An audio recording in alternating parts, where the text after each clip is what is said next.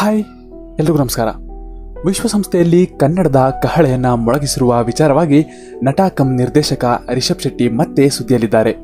ವಿಶ್ವಸಂಸ್ಥೆಯ ವಾರ್ಷಿಕ ಸಭೆ ಕೆಲವು ದಿನಗಳಿಂದ ನಡೀತಾ ಇದ್ದು, ಮಾನವ ಹಕ್ಕು ಸಂರಕ್ಷಣೆ ಷರತ್ತಿನ ಇಪ್ಪತ್ತೆಂಟನೇ ಸಭೆಯಲ್ಲಿ ಪರಿಸರ ಸಂರಕ್ಷಣೆಯ ವಿಷಯವಾಗಿ ರಿಷಬ್ ಶೆಟ್ಟಿ ಕನ್ನಡದಲ್ಲೇ ಭಾಷಣ ಮಾಡಿದ್ದಾರೆ. ಕೆಲ ದಿನಗಳ ಹಿಂದೆ ರಿಷಬ್ ಸಿಎಂ ಬೊಮ್ಮಾಯಿ ಅವರನ್ನ ಭೇಟಿಯಾಗಿದ್ರು. ಅನೇಕ ಕಾಡುಗಳಿಗೆ ಭೇಟಿ ನೀಡಿ ಕಾಡಂಚಿನ ಜನರ ಸಮಸ್ಯೆಗಳ ಬಗ್ಗೆ ಚರ್ಚೆ ಮಾಡಿದ್ರು. ಈ ಎಲ್ಲ ಸಮಸ್ಯೆಗಳನ್ನ ಪರಿಹರಿಸೋದಾಗಿ ಸಿಎಂ ಬೊಮ್ಮಾಯಿ ಅವರು ಭರವಸೆ ನೀಡಿದ್ರು. ಈ ಬಗ್ಗೆ ಮತ್ತೆ ವಿಶ್ವಸಂಸ್ಥೆಯಲ್ಲಿ ಪರಿಸರ ಸಂರಕ್ಷಣೆ ಬಗ್ಗೆ ರಿಷಬ್ ಶೆಟ್ಟಿ ಮಾತನಾಡಿದ್ದಾರೆ. ವಿಶ್ವಸಂಸ್ಥೆಯ ವೇದಿಕೆಯಲ್ಲಿ ಕನ್ನಡದ ಪರ ದನಿ ಪಸರಿಸುವ ಕಾರ್ಯವನ್ನ ರಿಷಬ್ ಶೆಟ್ಟಿ ಮಾಡಿದ್ರು.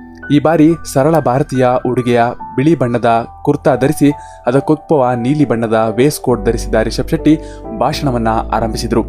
ಈ ಸಭೆಯಲ್ಲಿ ಭಾಷಣಕಾರರಿಗೆ ಸೀಮಿತ ಸಮಯ ನೀಡುವ ಕಾರಣ ತುಸು ವೇಗವಾಗಿ ಭಾಷಣ ಓದಲು ಆರಂಭಿಸಿದ ರಿಷಬ್, ನಮಸ್ಕಾರ, ನಾನು ರಿಷಬ್ ಶೆಟ್ಟಿ. ಪರಿಸರ ಸಂರಕ್ಷಣೆಗಾಗಿ ಕಳೆದ ಒಂದು ದಶಕಕ್ಕಿಂತಲೂ ಹೆಚ್ಚು ಕಾಲ ತಳಮಟ್ಟದಲ್ಲಿ ಕಾರ್ಯನಿರ್ವಹಿಸುತ್ತಿರುವ ಭಾರತದ ಇಕೋಫಾರ್ಮ್ ಪ್ರತಿನಿಧಿಯಾಗಿ ನಾನು ಇಲ್ಲಿ ಬಂದಿದ್ದೇನೆ. ಪರಿಸರ ಸ್ವಚ್ಛತೆ ಕಾಪಾಡೋದು ಸದ್ಯದ ಅಗತ್ಯ.